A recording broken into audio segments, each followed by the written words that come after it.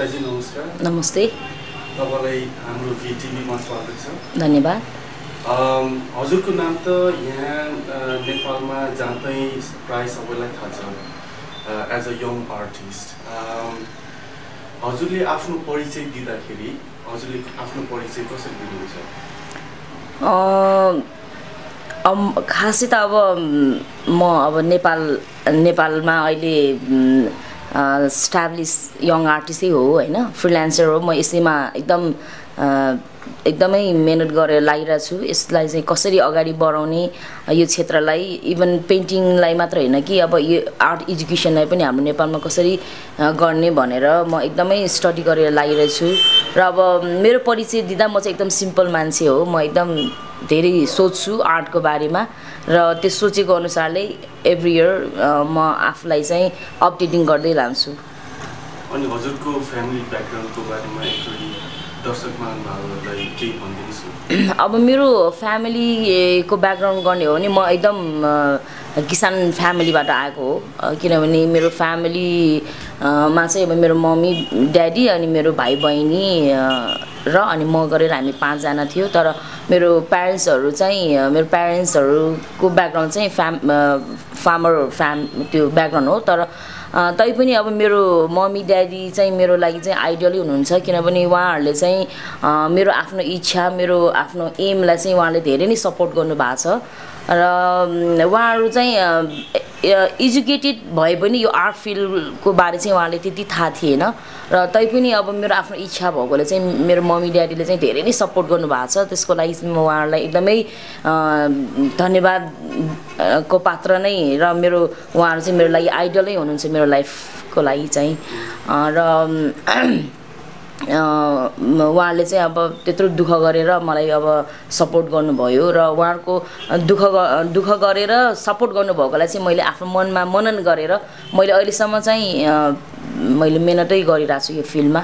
सायद म मेरो प्रगति मेरो उन्नति देखेर मेरो मम्मी ड्याडी पनि एकदमै ह्याप्पी हुनुहुन्छ जस्तो लाग्छ मलाई। र उहाँले चाहिँ जहिले पनि मेरो स्टेपलाई चाहिँ उहाँले जहिले पनि जहिले पनि उहाँले एकदम राम्रो सोचेर सफलताको कामना गर्दै हुनुहुन्छ। एउटा जिज्ञासा मान्छेहरू पढेर अब कोही डक्टर बन्छन् कोही इन्जिनियर बन्न रुचाउँछन् कोही पाइलट बन्न रुचाउँछन्। हजुर चाहिँ आर्ट फिल्डमा चाहिँ कसरी आउनुभयो? अब यो यस्तो किनभने अब पहिला स्कुलिङ गर्ने म एकदमै के अरे गभर्मेन्ट स्कुलमा पढेको हो। र त्यो स्कुलमा चाहिँ हाम्रो स्कुल चाहिँ स्कुलमा चाहिँ हाम्रो कस्तो छ भने आर्ट एक्टिभिटिजहरू त्यस्तै केही पनि थिएन होइन? एउटा गभर्मेन्ट गभर्मेन्ट स्कुल श्रीचन्दी माध्यमिक विद्यालयमा पढेको क्लास टेनसम्मै तर त्यो स्कुलमा चाहिँ एक्स्ट्रा एक्टिभिटिज आर्ट कहिले पनि हुँदैन थियो र छैन पनि त्यो टाइममा होइन? तर कस्तो छ भने मलाई चाहिँ साइन्स साइन्स पढ्ने बेलामा चाहिँ त्यो गर्ने टाइम त्यो स्टडी गर्ने टाइममा चाहिँ मैले साइन्सको ड्रइङहरू मैले एकदम राम्रोसँग गर्थेँ तर म आफैलाई पनि थाहा थिएन होइन। त्यो ड्रइङहरू गर्ने बेलामा चाहिँ मेरो टिचरहरूले मलाई एकदम एप्रिसिएट गर्थ्यो। र उहाँहरूले ओहो तिम्रो त कस्तो ड्रइङ राम्रो रहेछ भन्ने किसिमको उहाँहरूको एप्रिसिएसन वर्डहरू मैले धेरै सुनिरहेको थिएँ।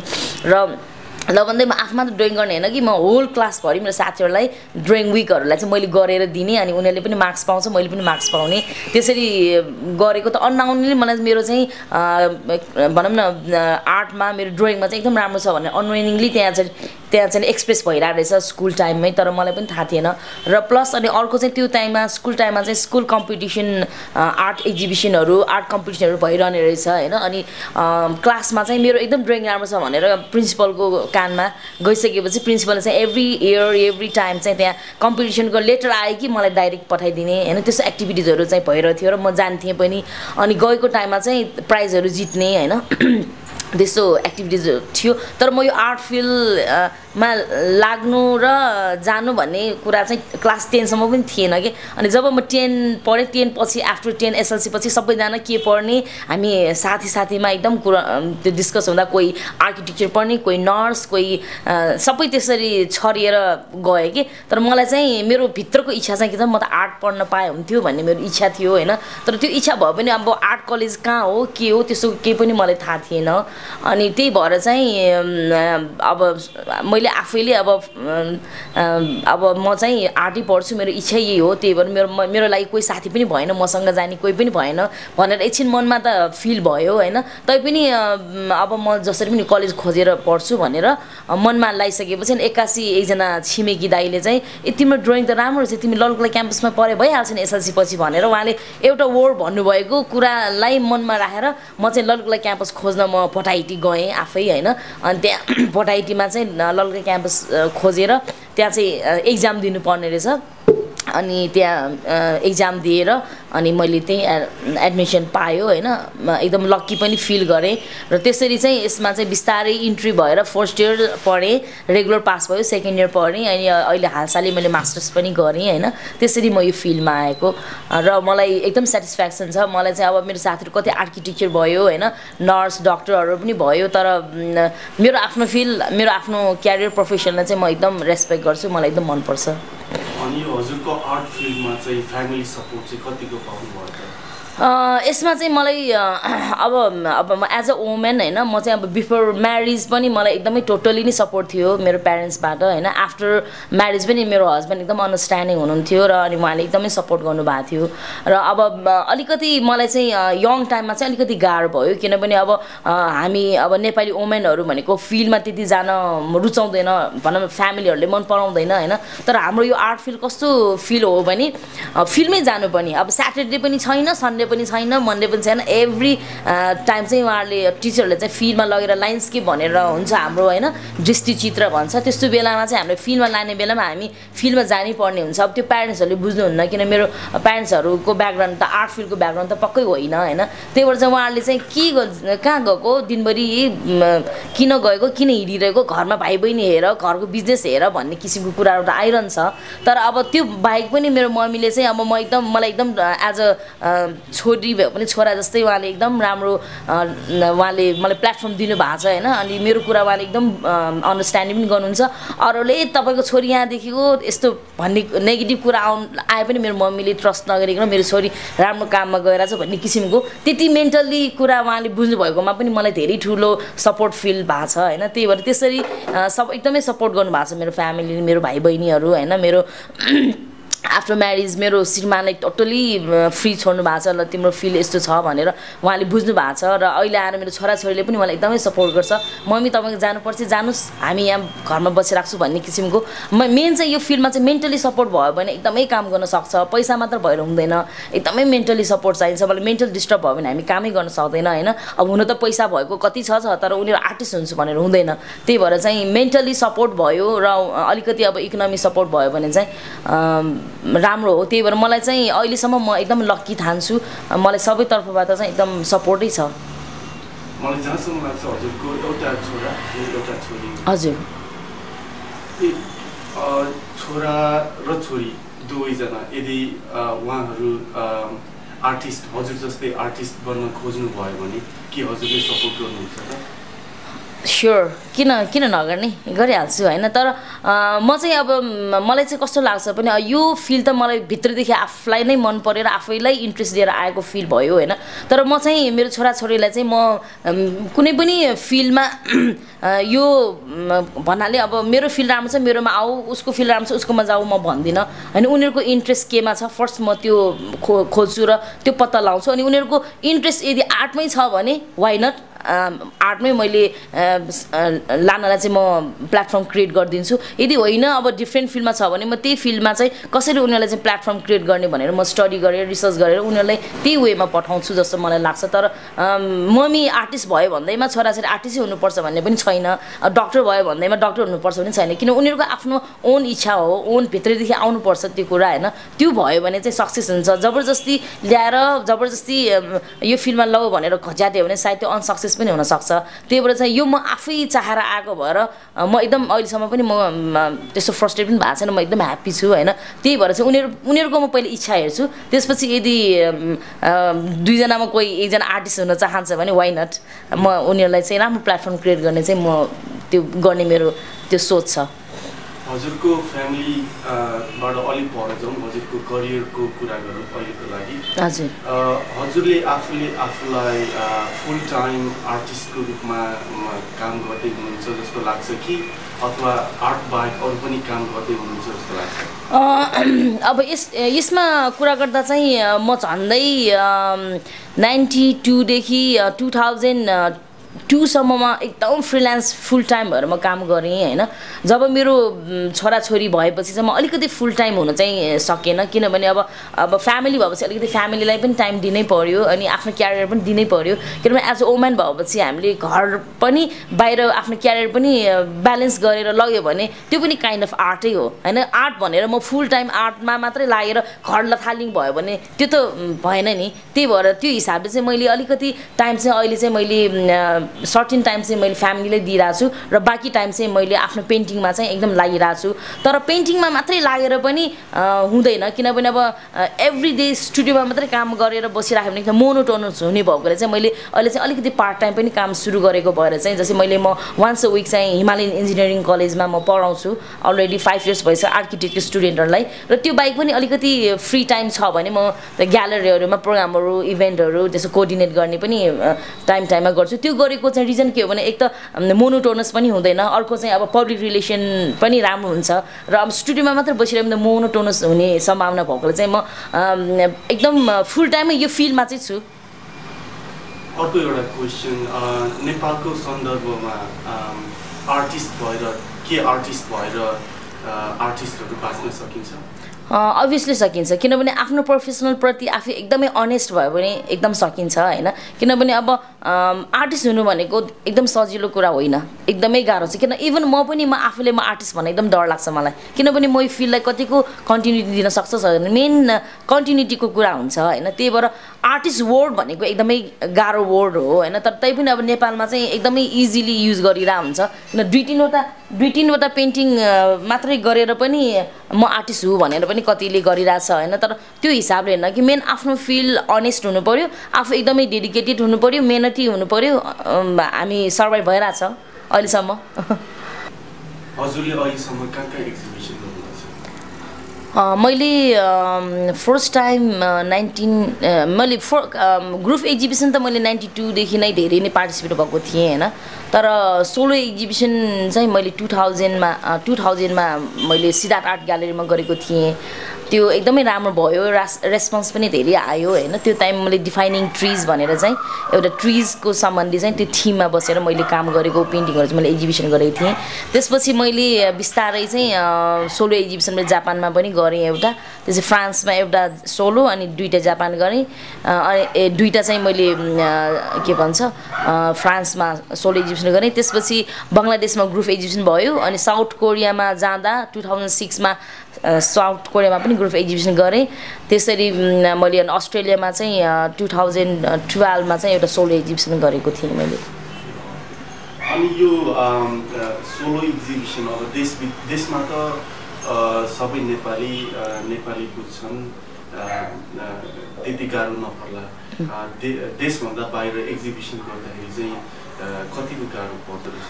त्यो धेरै गाह्रो छ हामीलाई। किनभने एक त हाम्रो गभर्मेन्ट सपोर्ट छैन हाम्रो नेपाली आर्टिस्टहरूलाई होइन? अब जस्तै अब एम्बेसी हुनु त अब एम्बेसीहरूले यो एक्सचेन्ज प्रोग्रामहरू गरिरहनु पर्ने कल्चर एक्सचेन्ज भनेर होइन? त्यस्तो हाम्रो नेपालमा धेरै कम छ होइन? अब भए पनि अब आफ्नो कनेक्सनमा मात्रै बढी गरिन्छ यहाँ नेपालमा अलिकति त्यस्तै कल्चर छ। त्यही भएर चाहिँ अब हामीले कुनै देशमा के गर्न चाहेको छ भने कसैको सहायता बिना चाहिँ सक्दैन। होइन? त्यो भएर चाहिँ मलाई चाहिँ अलिकति गाह्रै लाग्छ नेपाली आर्टिस्टलाई बाहिर गएर काम गर्न। अब एक त अब नेपालीहरू विदेशमा गएर भाग दिन्छ भनेर भिजै दिँदैन फर्स्ट चाहिँ भिजै रोकिदिन्छ होइन? जति कल्चर एक्सचेन्ज प्रोग्राम हामी एक्जिबिसन गर्न जान्छु भनेर जति उहाँहरूले एप्लिकेसन लेखे पनि उहाँले इग्नोर गर्छ। त्यसको लागि चाहिँ हामीलाई चाहिँ बाहिर बस्ने कोही अब साथीहरू छ भने दाजुभाइ कोही छ भने उहाँहरूले केही सपोर्ट गर्नुभयो अथवा कुनै अर्गनाइजेसन नेपालीहरूलाई सपोर्ट गर्ने अर्गनाइजेसन त्यस्तो केही छ भने उहाँहरूको सपोर्ट बिना त हामी सक्दैन बाहिर गर्न। किनभने एकदम हाई कस्ट छ लजिङ फेरि एकदम हाई कस्ट हुन्छ। त्यही भएर पनि अलिकति गाह्रै छ। तर मलाई चाहिँ के लक्की फिल हुन्छ भने मेरो चाहिँ लक्किली टु थाउजन्ड टूमा चाहिँ फुकुका आर्ट म्युजियमले चाहिँ यङ आर्टिस्टको लागि चाहिँ थ्री मन्थ्स इन्भिटेसन पठाएकोमा चाहिँ मेरो नाम सेलेक्सन भएर म गएको थिएँ होइन। तिन महिना त्यहाँ बसेँ एकदम धेरै जापानको कल्चर उहाँहरूको रहन सहन उहाँहरूको सबै कुराहरू चाहिँ मैले सिक्ने मौका पाएँ। अनि त्यहाँ चाहिँ उहाँले नै अर्गनाइज गरेर हामीले ग्रुप एक्जिबिसन पनि गरेँ अनि एउटा मेरो सोलो पनि एक्जिबिसन गरेँ तिन महिनाभित्र होइन? त्यसरी कनेक्सन भयो भने चाहिँ एकदम इजी छ न एक- एकदमै गाह्रो छ। अनि त्यसरी नै मैले फ्रा उता फ्रान्समा पनि एउटा अर्गनाइजेसन ले चाहिँ उहाँहरूले एउटा नगरपालिकाको मेम्बर चाहिँ मेरो हस्बेन्डको साथी थियो। अनि उहाँले चाहिँ अर्गनाइज गर्नुभयो र त्यहाँ पनि म नगरपालिकाको सपोर्टले त्यहाँ गरेको थिएँ। अनि त्यसरी अस्ट्रेलियामा पनि एउटा भिलेज डेन्टल क्लिनिक क्लिनिकले चाहिँ उहाँले नेपाली आर्टिस्टलाई सपोर्ट गर्नुपर्छ भनेर चाहिँ उहाँले चाहिँ हामीले इन्भाइट मलाई इन्भाइट गरेर चाहिँ डि- भिलेज डेन्टल क्लिनिकले चाहिँ होल अर्गनाइजेसन गरेर चाहिँ उहाँले मलाई सपोर्ट गर्नुभएकोले मैले अस्ट्रेलियामा पनि म पुग्न सफल भएँ। जस्तै अब फाइनेन्सियली अब यदि कोही आर्टिस्ट नेपाल बाहिर एक्जिबिसन गर्न चाहन्छ भने कसरी कुन चाहिँ बाटोबाट अगाडि बढ्दा चाहिँ ठिक होला? सबैभन्दा ठुलो राम्रो बाटो भनेको त एम्बेसीको थ्रुबाट हो। किनभने एम्बेसी र अनि संस्कृति के कल्चर एक्सचेन्ज हाम्रो गभर्मेन्टको लिङ्क छ नि त्यसबाट चाहिँ हामीले कनेक्सन गरेर चाहिँ हामीले देश विदेश सार्क कन्ट्री भयो तपाईँको युरोपमा हरेक ठाउँमा चाहिँ त्यसो थ्रुबाट एम्बेसीको थ्रुबाट गयो भने त त्यो त्योभन्दा सबैभन्दा सजिलो अनि कम्फोर्टेबल अनि एकदम भनौँ न इजी डिलिङ हुने त्योभन्दा ठुलो कुरा त अरू हुँदैन। प्राइभेटली भयो भने चाहिँ अलिकति गाह्रै हुन्छ तर गभर्मेन्ट लेभलमा चाहिँ अलिक एम्बेसीको थ्रुबाट गयो भने चाहिँ तुरुन्तै त्यहाँ भनौँ न एडभर्टाइज भइसकेको हुन्छ। एम्बेसीको थ्रुबाट भने चाहिँ त्यही डिप्लोम्याट्सहरू होइन उहाँहरूको कनेक्सनमा चाहिँ तुरुन्तै गइसकेको हुन्छ। त्यसरी जान पायो भने त धेरै राम्रो पनि हुन्छ। यो त अब गभर्मेन्ट लेभलले गर्नुपर्ने हो अब हाम्रो नेपालमा छैन। धेरै थोरै छ। मलाई जहाँसम्म लाग्छ हजुरको अन्तिम इन्टरनेसनल एक्जिबिसन भनेको अस्ट्रेलियामा टु थाउजन्ड एन्ड थर्टिनमा टुवेल्भ थर्टिनमा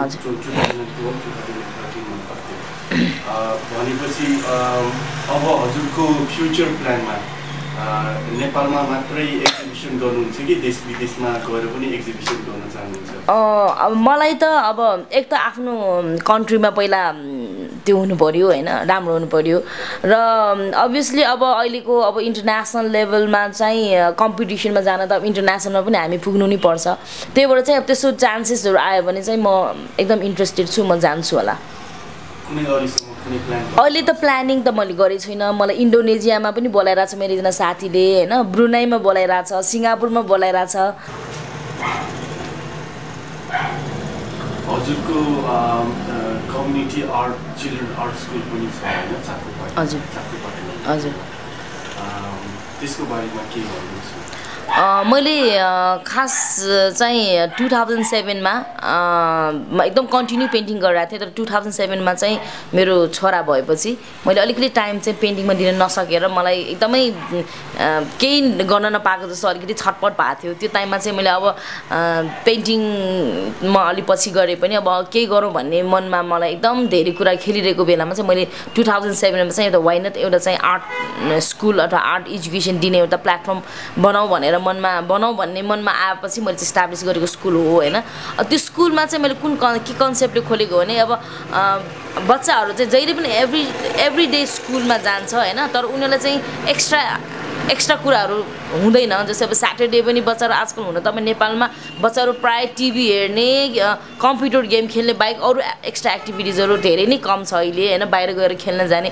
त्यो त्यो पनि मनमा आइरहेको थियो र बाइक चाहिँ कति बच्चाहरूको त क्रिएटिभिटी कस्तो भइरहेको हुन्छ होइन? तर उनीहरूले आफ्नो क्रिएटिभिटी चाहिँ एक्सप्रेस गर्ने एउटा प्लेटफर्महरू हुँदैन जस्तै घरमा पनि कति प्यारेन्ट्सहरूले बुझ्दैन कलरमा खेल्न थाल्यो भने गाली गर्ने होइन? अब कुनै माटोमा खेल्न थाल्यो भने गाली गर्ने किनभने त्यो चाहिँ प्यारेन्ट्सहरू अलिकति अवेरनेस छैन। त्यही भएर चाहिँ मैले चाहिँ एउटा यस्तो टाइपको प्लेटफर्म क्रिएट गरौँ कि बच्चाहरू चाहिँ हप्ताको एकचोटि आएर चाहिँ मेरो स्कुलमा इन्जोय गरौँ उनीहरूले केहरू सिकौँ होइन? अथवा उनीहरूले पनि सिकोस् भन्ने मेरो त्यो कन्सेप्ट आएकोले चाहिँ मैले त्यो स्कुल खोलेको। त्यही भएर चाहिँ बच्चाहरू एकदमै इन्जोय गर्छ। एभ्री स्याटरडे आउँछ उनीहरू क्ले वर्किङ गर्नु मन लाग्छ कि होइन?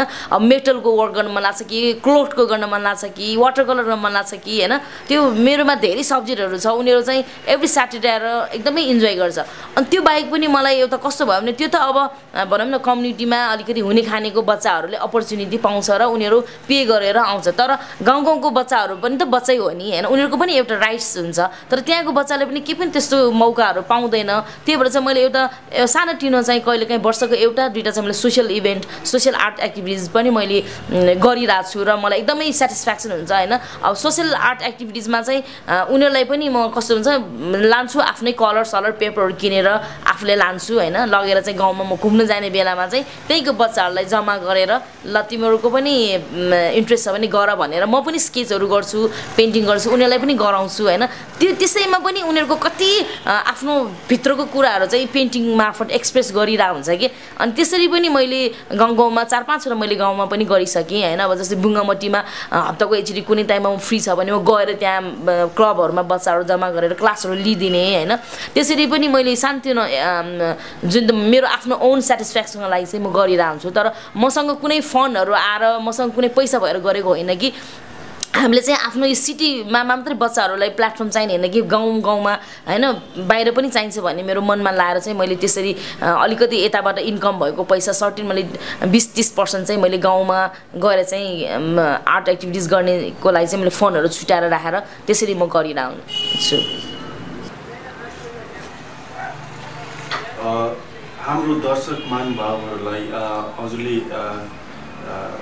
अहिलेसम्म पाउनुभएको अवार्ड्सको बारेमा भनिदिनुहोस् न। यो अब मैले अवार्ड चाहिँ फर्स्ट अवार्ड मैले एउटा ग्रुप एक् कम्पिटिसन आर्ट कम्पिटिसन हुँदा मैले ह्युमेन ह्याप्पिनेस भनेर एउटा टाइटलमा चाहिँ आर्ट कम्पिटिसन नेपालमै भएको थियो। त्यसमा मैले प्रथम पुरस्कार फर्स्ट प्राइज पाएको थियो।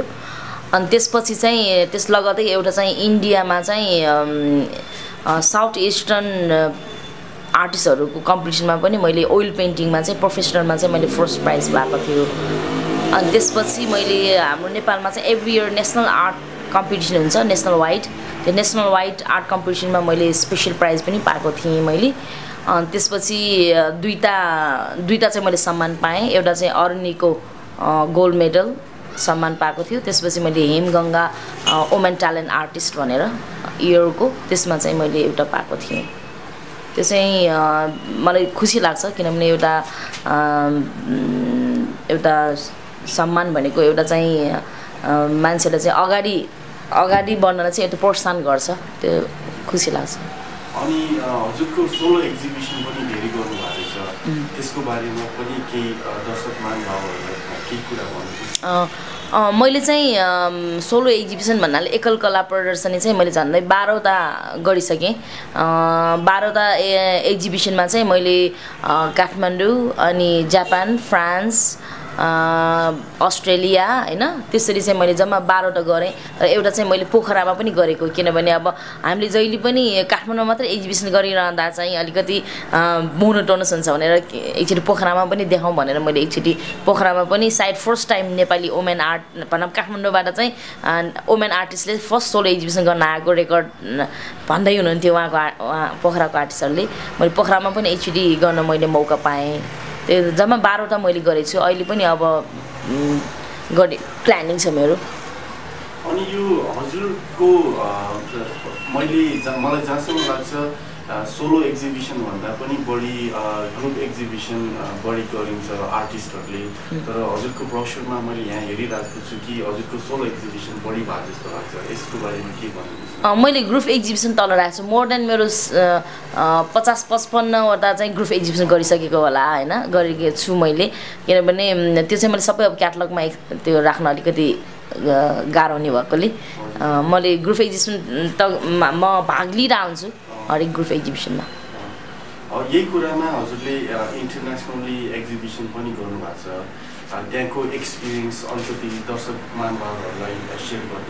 अब इन्टरनेसनली एक्जिबिसन गर्नु भनेको चाहिँ एउटा काइन्ड अफ स्टडी हो कि? मलाई त स्टडी जस्तो लाग्छ। किनभने हामी जहिले पनि एउटै ठाउँमा बसिरहेको भने एउटै मोनोटोनस एउटै कुराहरू भइरहन्छ। तर हामी अलिकति ओभर होइन अलिकति विदेशतिर गयो भने चाहिँ अब एक्सचेन्जिङ गर्ने मौका धेरै पाउँछ। जस्तै अब लेक्चरहरू सुन्न पाइन्छ त्यहाँको वर्कसपहरू अब्जर्भ गर्न पाइन्छ र त्यहाँको अब कलेजहरूमा चाहिँ कसरी एजुकेसनहरू दिइरहेछ उनीहरूको कस्तो स्ट्राटेजी छ कस्तो के छ होइन भनौँ न धेरै कुराहरू चाहिँ स्टडी गर्ने मौका पाउँछ। त्यही भएर पनि मलाई चाहिँ बाहिर एकचोटि गयो भने एकदमै फ्रेस हुन्छ माइन्ड फ्रेस हुन्छ अनि अझ धेरै केही काम गरौँ भनेर एकदमै इन्सपिरेसन चाहिँ बढी आउँछ र नेपालमा आएपछि चाहिँ मैले त्यो इन्सपिरेसनलाई चाहिँ म के गरौँ भन्ने चाहिँ मलाई लाग्छ कि। त्यही भएर चाहिँ बाहिर जानु भनेको मेरो लागि एउटा स्टडी गर्नु नै हो जस्तो लाग्छ।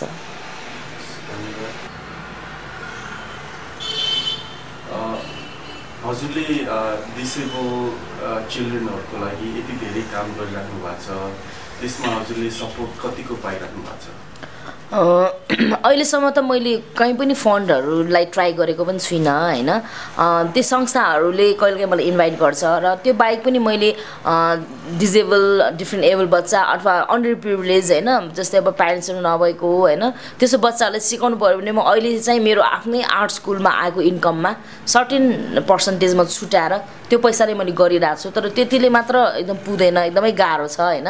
अब त्यही अब कसैले भनौँ न स्पोन्सर गर्न चाहन्छ चाहन्छ कोही एकदमै इन्ट्रेस्टेड छ भने चाहिँ त्यो एकदम मोस्ट वेलकम छ। होइन त्यसको लागि म एकदमै धन्यवाद पनि दिन्छ र त्यसमा त्यस्तो पायो भने चाहिँ मलाई आफूले गरिरहेको काममा चाहिँ अझ धेरै सरलता सजिलो पाउँछ जस्तो मलाई लाग्छ। मलाई विश्वास लाग्छ यो डकुमेन्ट्री हेरिराख्नु हुने महानुभावहरू उहाँहरू पनि इच्छुक हुनुहुन्छ होला केही हेल्प गरौँ केही सपोर्ट गरौँ डिसेबल बच्चाहरूको लागि नेपाली बच्चाहरूको लागि भनेर। यदि कोही दर्शक महानुभावहरू इच्छुक हुनुहुन्छ भने उहाँहरूले यहाँसम्म सपोर्ट गर्नको लागि के कसरी गर्न सकिन्छ उहाँहरूले यसमा चाहिँ मेन त्यही हो अब मेरो एउटा सानो अर्गनाइजेसन हो सानो आर्ट स्कुल हो होइन। यसमा चाहिँ अब उहाँले इन्ट्रेस्ट छ भने मलाई इमेल गर्न सक्नुहुन्छ होइन। मेरो canvas Nepal at the Gmail dot com हो।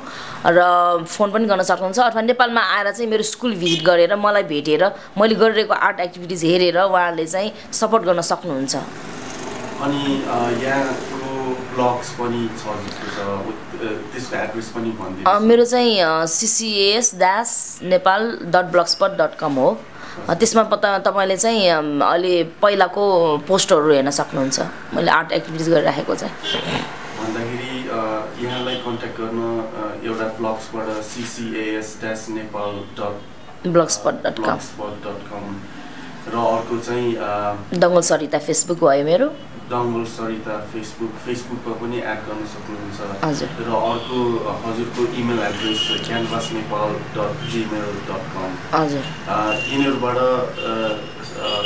आर्टिस्ट सरिता डङ्गललाई कन्ट्याक्ट गर्न सकिन्छ। यदि कुनै सपोर्ट गर्न चाहनुहुन्छ अथवा कुनै हेल्प गर्न चाहनुहुन्छ चाहनुहुन्छ भने उहाँलाई डाइरेक्ट कन्ट्याक्ट गर्नुभयो हुन्छ अनि हजुरको कन्ट्याक्ट नम्बर पनि दिन चाहनुहुन्छ। मेरो चाहिँ सेल नम्बर चाहिँ nine eight four one two two four seven five three नेपालको हो।